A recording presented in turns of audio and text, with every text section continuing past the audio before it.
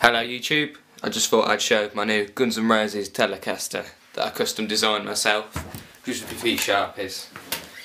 Uh, it's a Squier Telecaster Affinity series um, and it sounds quite nice.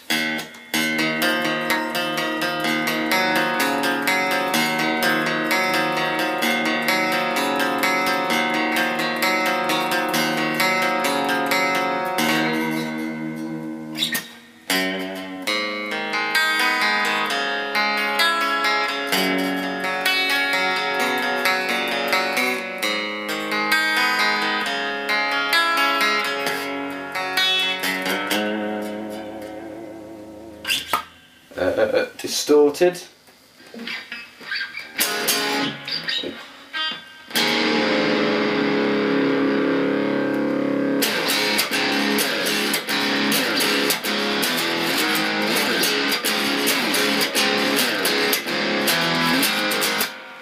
with the neck pickup